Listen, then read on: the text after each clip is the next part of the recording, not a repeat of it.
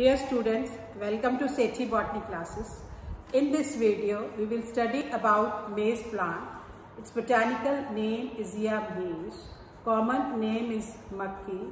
This belongs to family Gramineae, also called as Poaceae. This is an erect plant. Height of the plant is 1 to 5 meter. This is annual plant. Complete its life cycle in one season.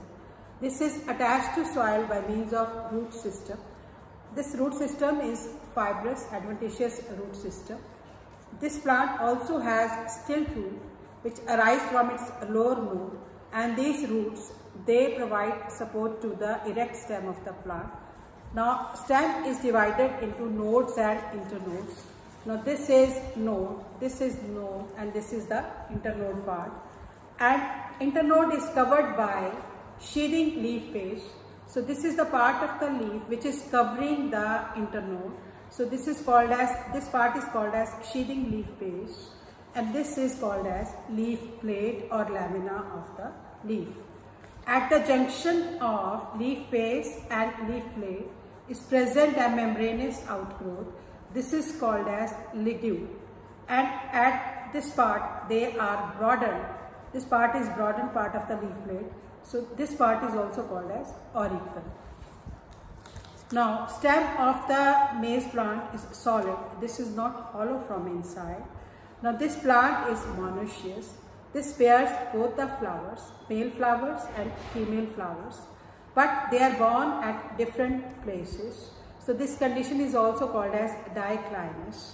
Now this is its female flower. This is arising in, again in the axil of the leaf each female flower is a modified branch. We can see this part of the female part. Uh, this is called as cob or spadix and this part is having nodes and internodes which are contracted internodes and from each in, each node leaves they are arising and these leaves they are covering this cob or spadix part of the uh, maize plant. So this is the female part which is called as spadix and these are bracts or standing leaves which are covering this and this part is the silk part which is coming out of it. Now we can see this part when we have opened this spadix. Now it has pistillate flowers. Now these pistillate flowers, now they have ripened to form the grains. So this is single seeded grains present in the rows on the cob or the spadix.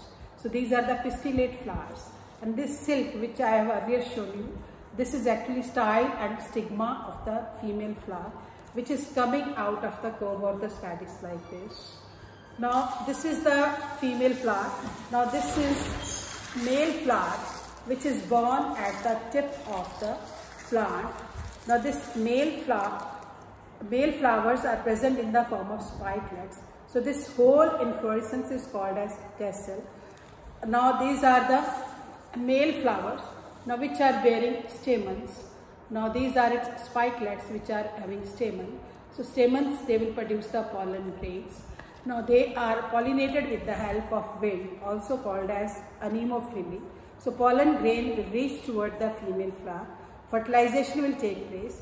This will lead to the formation of the cob or the spadix which is having mature grains or caryopsis. So this is about morphology of the maize plant. If you like my video, please like, share and subscribe. Thank you for watching.